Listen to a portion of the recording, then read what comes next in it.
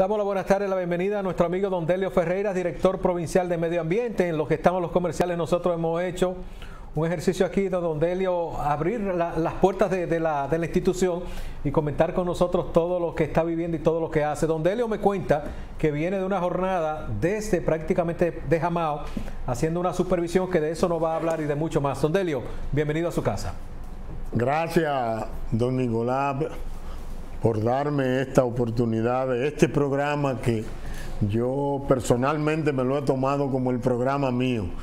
Eh, en mi hogar eh, eso es cotidiano, el programa Acceso sin Límite. Y de noche también mi esposa no se, no se pierde tampoco. Con la revista de la Con la revista de la noche. Y desde aquí, desde esta tribuna también, darle un saludo afectuoso y cariñoso a nuestra amiga personal Judy Valdés, que está haciendo un excelente trabajo eh, en el programa Marema, en su institución, y Alfonso de Los Ángeles, que es mi amigo de Longstein. Me dice que usted estará hablando muy claro el próximo domingo en el programa de Alfonso de Los Ángeles. Yo lo sé todo, don Delio. Ah, oh. ¿Es así o no es así? Sí, sí. El próximo domingo estará con Alfonso de Los Ángeles. Alfonso de Los Ángeles. Usted estaba para Jamado, don Delio. ¿Qué hacía hoy para Jamado? Si nosotros había una denuncia de las de ADEPE y de nuestro amigo eh, Collado, José Collado sobre eh, una depredación que se está cometiendo un empresario de Jamao al Norte. Está extrayendo materiales de construcción de una fuente acuífera que hay en esa zona debajo de, debajo de la montaña.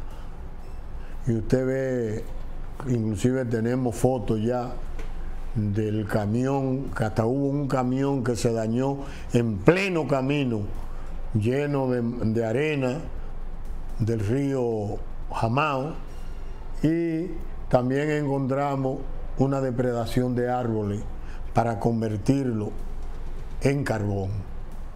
Eh, no pudimos localizar a la persona porque estaba fuera de la ciudad, pero nosotros estamos eh, conteste con todo el que es depredador del medio ambiente, sabe que no vas a tener a nosotros de frente.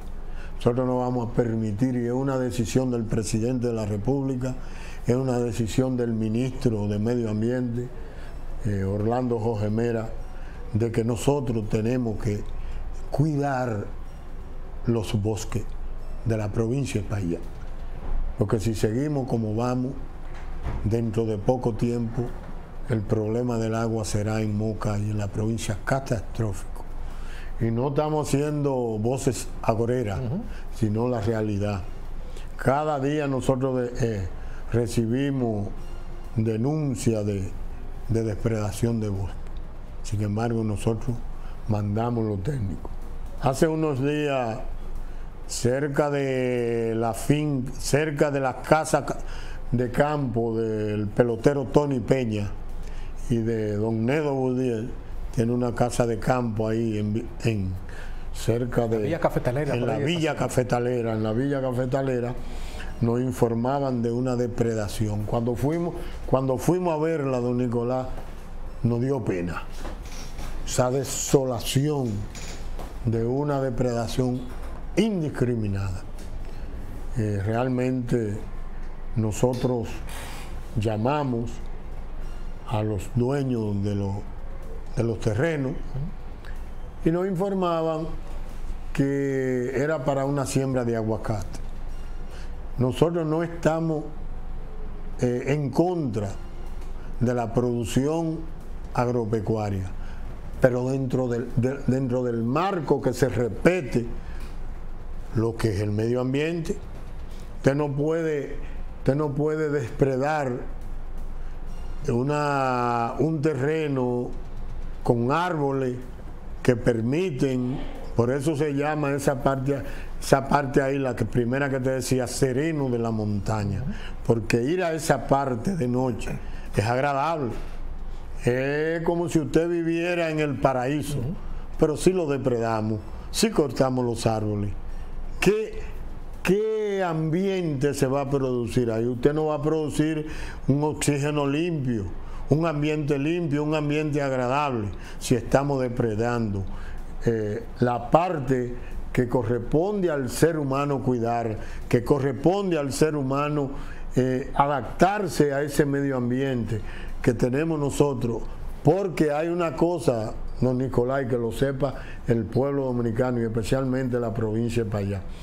Usted siembra un árbol y ese árbol dura 10, 15 años para usted cobijarse bajo su sombra.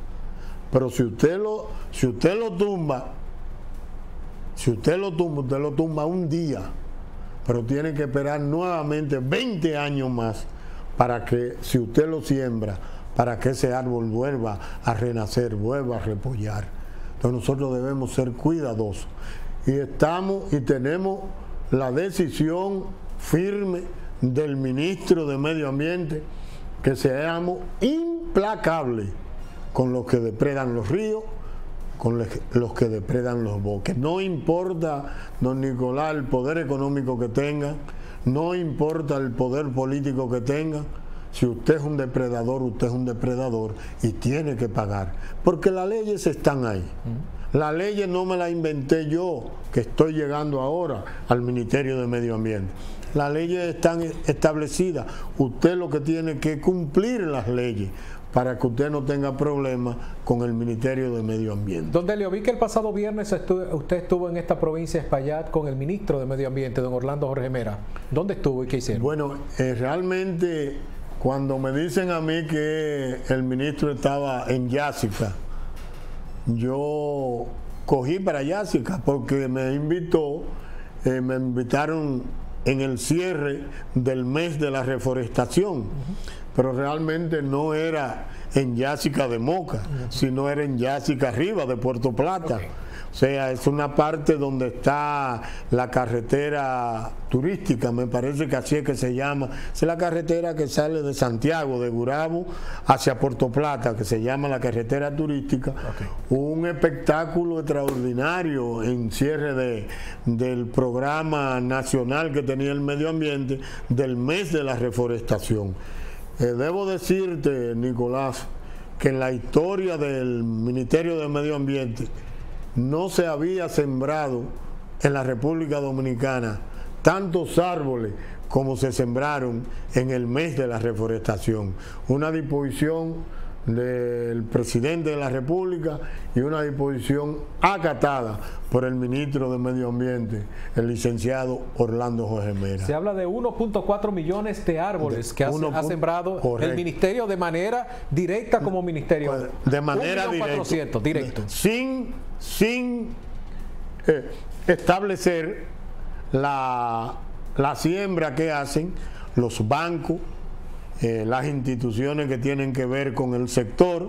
O sea, eso es, el ministerio que sembró un millón cuatrocientos mil árboles en la República Dominicana. Esta, esta reforestación, aunque octubre es el mes como tal, pero debe de seguir todo el tiempo, ya que motivar a que los jóvenes, a que cada eh, ciudadano pues siembre un árbol para provecho de todos. Mira que nada más queda la mitad, ya estamos en el medio ambiente. Eh, y decía Bill Gates que la próxima pandemia que vamos a tener y que será muy pronto será por el cambio climático. por el cambio Entonces, Tenemos que poner atención a esta y además, eh, don Nicolás, que realmente eh, esa actividad que se produjo en Puerto Plata fue una actividad de alegría, inclusive el ministro anunció ahí que el programa no se detiene, que el programa va a continuar, porque en grande tratadistas y que tienen que ver con el, aspecto medioambiental eh, señalan, y eso yo lo digo en muchos programas,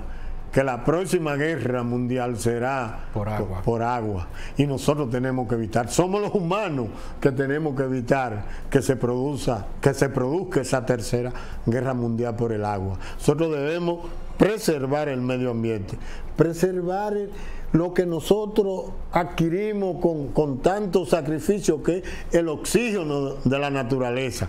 Si no hay árboles, si no hay esa transpiración de, oxígeno y que usted solamente adquiera, eh, no pueda sacar ese anhidrido carbónico, que porque esa es la vida. Recibir oxígeno para usted eliminar el anhidrido carbónico que usted tiene en el cuerpo. Entonces, todo ese tipo de cosas, somos los humanos, somos los, seres humanos, porque usted no le puede pedir a un animal que cuide el medio ambiente. Somos los humanos que tenemos que respetar eh, eh, el ambiente, el hábitat donde nosotros vivimos. Porque usted tumba un árbol frente a su casa y no le va a afectar, puede hacer que le afecte a usted pero le va a afectar también a las demás personas que viven alrededor, suyo.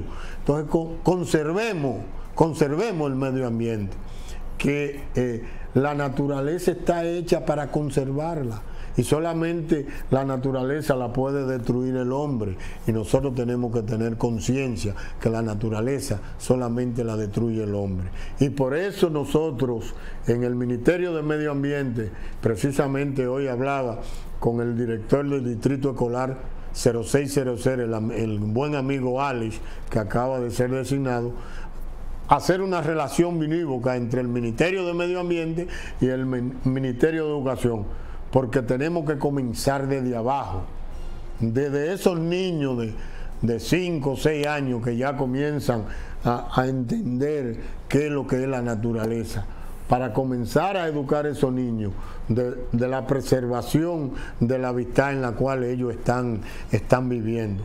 Si no hay una política gubernamental partiendo de, desde abajo, por muchos sacrificios que hagamos, eh, se nos va a hacer cuesta arriba. Además, nosotros queremos también en tu programa decir, Nicolás, que no vale todo el esfuerzo, Nicolás, que nosotros hagamos que haga Marema, que haga el Ministerio de Medio Ambiente o que hagan todas las instituciones si no hay una interrelación entre las instituciones, entre las diferentes instituciones que tienen que ver con este tema para que nos unifiquemos y hagamos en la provincia de Payá un plan de desarrollo y de preservación del medio ambiente. Precisamente me decía el presidente de Coadepe, que por cierto le estoy haciendo campaña, le estoy haciendo campaña aquí a Coadepe, él me decía que nos íbamos a, reunir con todos los alcaldes de los distritos y de los municipios, hacer una gran reunión para la conservación del medio ambiente, para el rescate de los diferentes ríos que están siendo afectados por, por las manos criminales humanas y nos vamos a unificar todo para nosotros poder desarrollar un plan estratégico que nos permita a nosotros recatar el medio ambiente en la provincia de Payá. hay que incluir en ese plan, don Delio, la planta de tratamiento. Anoche hablábamos nosotros en la revista de la noche, Alfonso y yo, sobre la situación que tenemos de contaminación de los mismos barrios de Moca contaminando el río. Entonces no podemos pedirle a ellos que siembren un árbol cuando ellos hacen sus heces fecales hacia el río.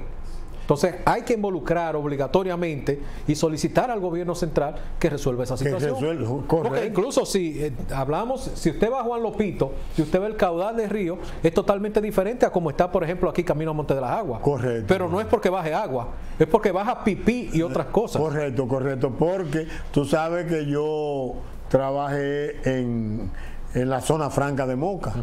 Y a mí me dio pena cuando yo trabajaba en la, franca en la zona franca que a nosotros se nos tapó una de las tuberías de la zona franca. Y eh, pudimos descubrir en esa época, Nicolás, que todo el sistema cloacal de Moca, de Moca, y es bueno que, que la población lo sepa, venía a caer en el, en el solar que era de Pilo, de Pilo Cabrera, de Pilo Salcedo y Marisa. Ahí hay seis depósitos, que era lo que con un tubo de PVC de 12 pulgadas enviaban todo el sistema, lo enviaba a la, planta de tratamiento. Pero al, colapsar la planta de tratamiento de, que está ahí en, en la colina. Eso produjo una, una, pandemia, Nicolás, que tuvimos inclusive en la época que yo estaba, tuvimos que evacuar lo que era Vega Textil, que tú la conoces, lo que era Mocarea, que tú lo conoces, y lo que era Interní, que eran tres fábricas, que los tuvieron que eliminar, o sea, sacar los obreros de ahí porque no aguantaban la situación de pandemia que había por las S fecales que se producían en ese espacio. O sea, no, no puede haber desarrollo en un pueblo, no puede haber eh, bienestar en un pueblo, no puede haber convivencia en un pueblo cuando ese pueblo está sujeto a, a problemas de salud por falta de una política que nos permita a nosotros. No es verdad esa planta de tratamiento tiene más de 15 años, 18 años ya que perdió su vida útil. No es, eso no es posible. Eso los gobiernos, no importa el, gobierno que tuviera, no estamos aquí, eh, hay que criticar a los gobiernos que no lo hicieron. Y yo espero que en mi gobierno, que en el gobierno del compañero Luis Abinader, primero se restablezca una planta de tratamiento adecuada para el municipio de Moca. Y en segundo lugar, se resuelva también el problema del vertedero.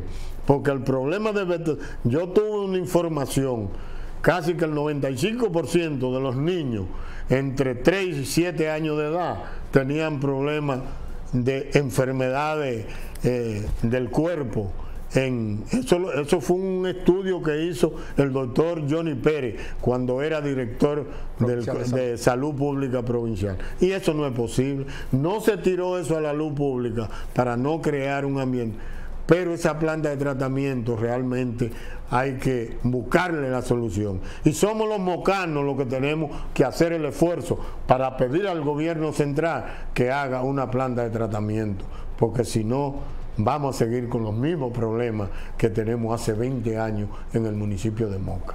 ¿Cómo está medio ambiente, don Delio? ¿Qué usted recibió? ¿Cómo está la institución como tal? Bueno, realmente, don Nicolás, eh, precisamente le decía que eh, conseguimos por un amigo nuestro un estudio que nos hicieron, que ya lo tengo en la mano, eh, lo que encontramos, lo que hay, como te decía eh, en aquella oportunidad, eh, nosotros tenemos, encontramos un ejemplo, un campo vehicular excelente para los técnicos. Nosotros tenemos cinco motores, motores de esos saltamontes, tres se están usando y dos están guardados, porque Moca tenía cinco técnicos y lo fueron trasladando, lo fueron trasladando hasta tal punto que nomás tenemos dos, dos técnicos para la provincia entera.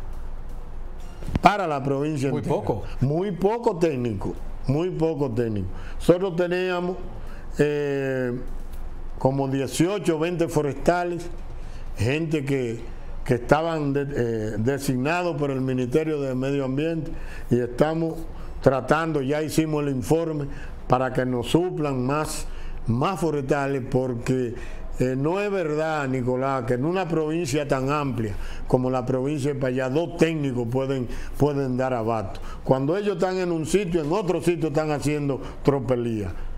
Entonces, en ese sentido, nosotros apelamos a los políticos, a los compañeros del partido, que son nuestros compañeros, a que eh, se unan con nosotros y pedirle al Ministerio de Medio Ambiente, al Ministro de Medio Ambiente, que nos supla la cantidad de técnicos y la cantidad de forestales para nosotros cumplir el compromiso que tenemos y que le hemos dicho a la población mocana, a la población de la provincia de Payá, que tendremos una administración eh, efectiva, una administración que sea ejemplo en la historia para Moca.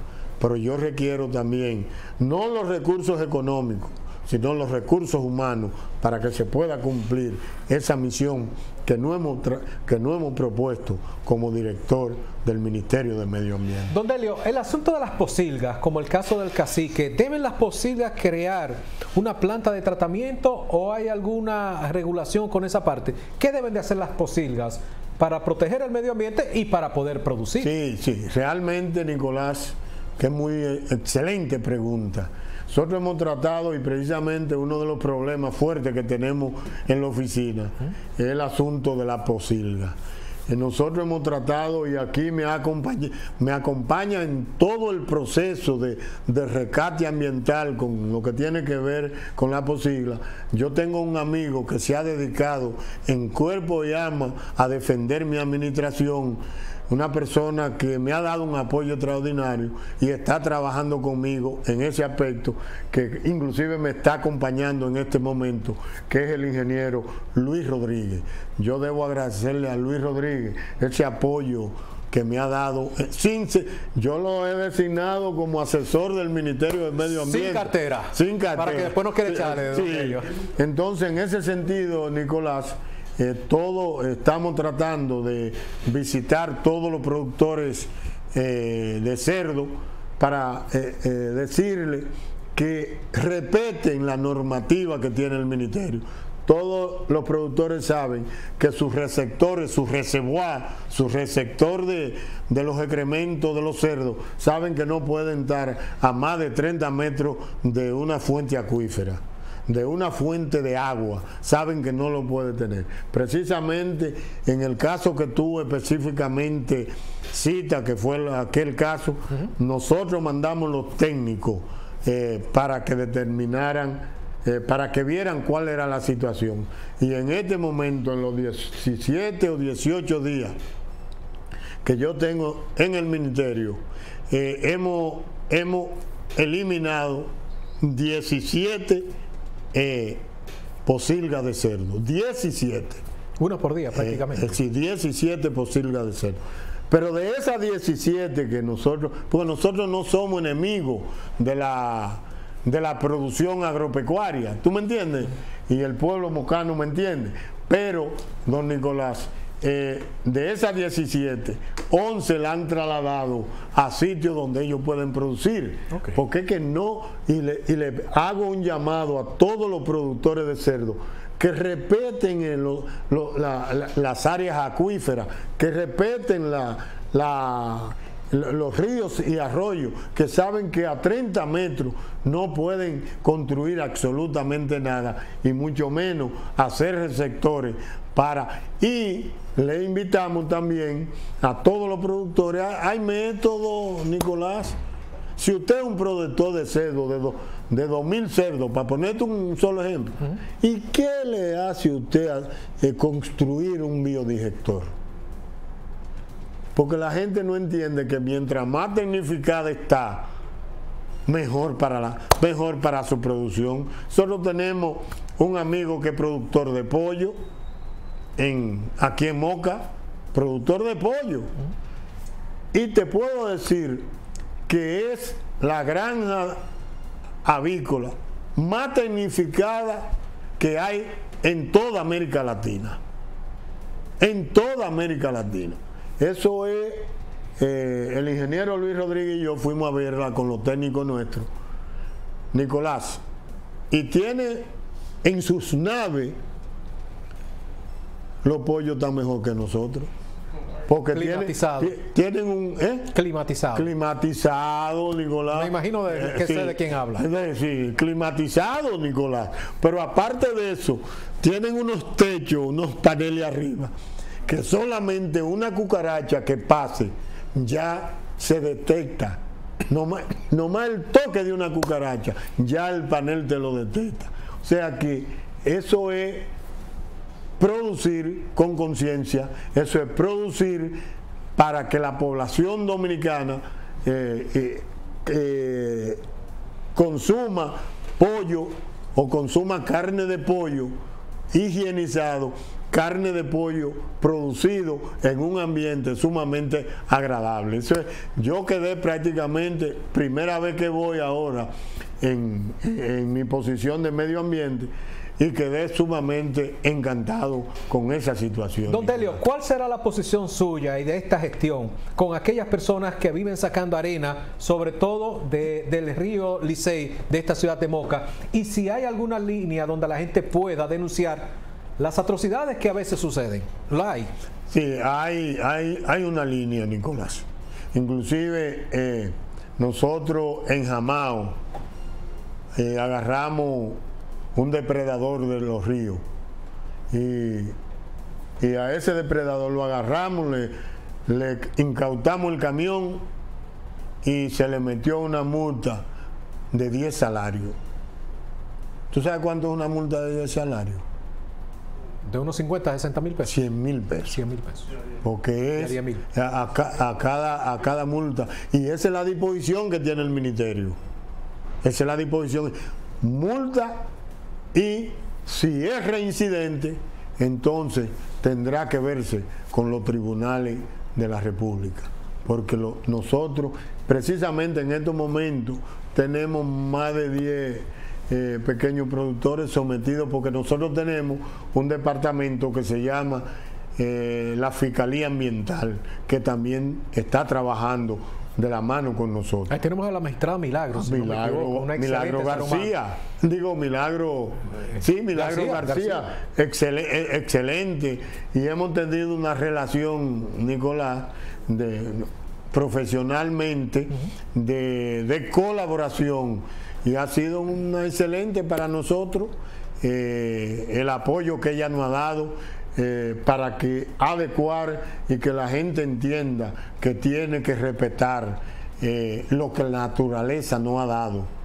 Porque los ríos, los arroyos, las a- la arena, eso es natural, eso es, produ- eso es la producción de la naturaleza. Los árboles es una producción de la naturaleza y nosotros tenemos que cuidarlo. Y ahora vemos la ley de contaminación a- a- de ruidos, ¿no? que también atribuye a medio ambiente a esta actividad de la incautación de bocinas y todo esto. ¿Le ha creado esto inconveniente también a usted, don Delio? ¿O usted está eh, delegando más en la Policía Nacional para esta parte? eh, más en, en- en la fiscal ambiental. La o sea, yo quiero por este medio decir que nadie puede ser mi hijo que esté creando problemas de, de ruido, de bocina, y que la fiscalía y la policía le, le incauten su que no vayan a mi oficina a pedirme Que le devuelva la bocina. que le devuelva la bocina, porque saben que no voy, con eso yo no transijo.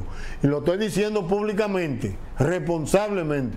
No se presenten a mi oficina para pedirme que le devuelvan bocina, porque no vamos a hacer esa, no vamos a hacer nada que permita que la sociedad mocana, que la sociedad de la provincia de Payá viva en un, eh, en un hábitat más agradable. Y los ruidos, lo, lo que es los, los colmadones, lo que son los expendios de cerveza en los colmadones, eso es un crimen en, el- en la provincia de Payá y eso hay que acabarlo. Eso hay que acabarlo de una u otra manera, porque los que viven alrededor, prácticamente, Nicolás, no pueden dormir. Hay que trabajar la educación, don- hay- hay que trabajar con la lo- educación, don Delio, lo que porque a veces también hay gente aquí que ha vivido toda su vida poniendo super musicones, música muy alta, y que ahora ven y se le diga que no pueden, tal vez como que es cuesta arriba. Entonces, le invito también a que trabaje un poco la educación, don Delio. Correcto. Y a la primera parte, ser eh, prudentes en un primer aviso, un segundo aviso y que no desde la primera vez no quieren cautarle porque es un asunto de costumbre. De costumbre. Que dice que la costumbre Hace hace, ley. ley.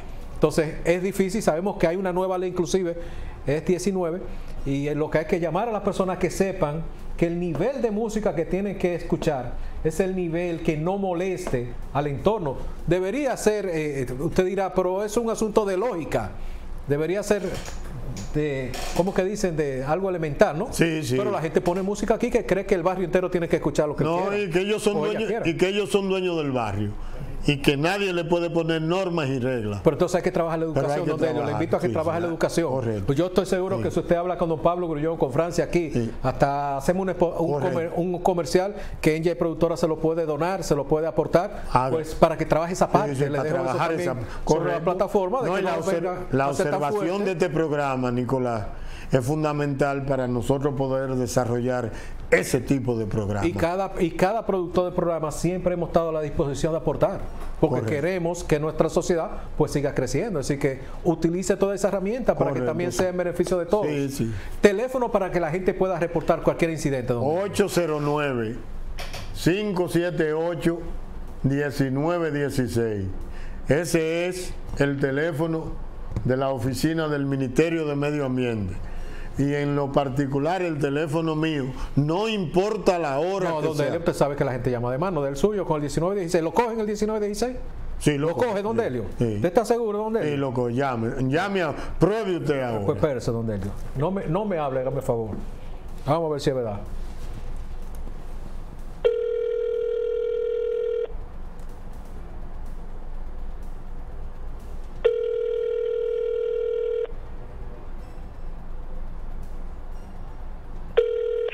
Medio ambiente Moscalón.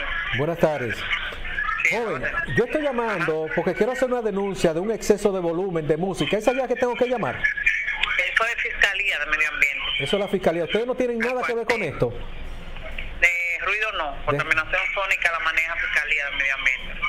Pero que a mí me habían dicho que era medio ambiente. Dígame. A mí me habían dicho que era medio ambiente. Hay una procuradora fiscal de Medio Ambiente que se llama Milagro García y ellos tienen asiento en el cuartel. Ah, ella está en el cuartel, no es con ustedes. No. Ustedes lo que tiene que ver cuando se corta la mata. se- Contaminación, sí. Contaminación. no sónica. Ah, perfecto, La ambiental. contaminación sónica pasó a ellos. Ah, perfecto. Pues muchísimas gracias. ¿Cuál es su nombre? Yanilza. Ah, pues gracias, Yanilza. Gracias, buenas tardes. Ok, igual. Eh, Sí, Sí, me gusta, ¿dónde Sí, no, no. Vicente, y que diga dónde es no, y cómo no. es la cosa. Sí, sí. Eso es lo que la gente quiere, don Y- Delio. y, ¿eh? mi, y mi personal, Nicolás, está instruido para que eh, seamos lo- los canales de la sociedad en lo que tiene que ver. Quizás ella te pudo también haber dicho que nosotros recibimos la denuncia, pero se la transmitamos, se la transmitimos A. Milagro, a Milagro García. O sea que allá no se deja de recibir la queja. Ahora nosotros la enviamos al canal, al canal correspondiente que es a la fiscal ambiental, que es la querida amiga Milagro. Bueno, don Delio, pues muchas gracias por compartir con nosotros.